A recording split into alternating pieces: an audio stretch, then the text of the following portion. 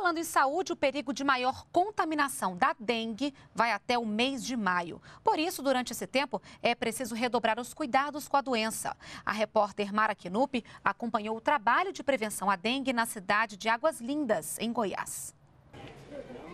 O trabalho de prevenção e reforço de combate à dengue começa neste posto de saúde, no município de Águas Lindas, em Goiás, a 54 quilômetros de Brasília. Aqui, neste setor, é feita a triagem e as pessoas com suspeita da doença são encaminhadas. O paciente chegou aqui, eu pergunto o que, que ele tem. Ele fala que está com febre, é, no máximo até uns sete dias. É, ele está com cefaleia, mialgia. Aí a gente já faz o pronto atendimento atendimento. No final do dia, as notificações feitas nas consultas são repassadas aos profissionais do Núcleo de Vigilância Epidemiológica. As fichas chegam às mãos de um digitador, que vai passar os dados para um sistema informatizado específico do Ministério da Saúde. Todas as doenças é, de origem compulsória, inclusive a dengue, é, alimentado por esse sistema, que é da, a partir daí que a regional, superiores, esferas maiores é, estarão cientes sobre os casos dentro desses municípios. Feito este trabalho, os técnicos já conseguem identificar qual a região com maior incidência da doença ou qual local onde as ações de combate à dengue precisam ser intensificadas. Nós temos 367 casos notificados de dengue e há casos de bairro onde nós temos que ter maior cuidado, que são os casos do Recanto da Barragem, Águas Lindas 2, de Santa Lúcia e o Guaíra. E é no bairro Guaíra que a equipe de agentes de saúde vai fiscalizar neste momento e nós vamos acompanhá-los.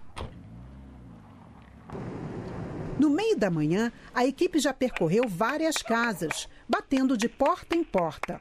E os moradores colaboram. A dengue está matando muito, né? E eu acho importante cada um cuidar do seu do seu lar, né, da sua casa. Além de abrir a casa, Dona Sueli também recebe orientações. Muita gente enche as caixas d'água com água da chuva, sem tomar os devidos cuidados. E para que a situação não saia do controle, todo esforço é feito. Nós colocamos os agentes de saúde na, em casa em casa, né? Mas tem a questão do, do lixo que o pessoal joga em terreno baldio, né? E o caminhão passa de três em três dias, mas o caminhão passa agora, desde quando o caminhão vai lá na frente, ele joga o lixo depois, né? Segundo o balanço do Ministério da Saúde, houve queda no número de casos graves de dengue. Foram 324 casos graves registrados nas primeiras sete semanas de 2013. No mesmo período de 2012, foram 577 casos. O número de mortes também teve queda, passou de 41 para 33 mas o número geral de casos da doença aumentou. Em 16 de fevereiro de 2013, o Brasil registrou 204 mil casos, enquanto em 2012 foram 70 mil. Ainda de acordo com o Ministério da Saúde, mais de 37% dos focos do mosquito da dengue estavam em área domiciliar, em locais de água parada e lixo acumulado. Por isso, os agentes de saúde não cansam de passar o recado. A população precisa redobrar os cuidados.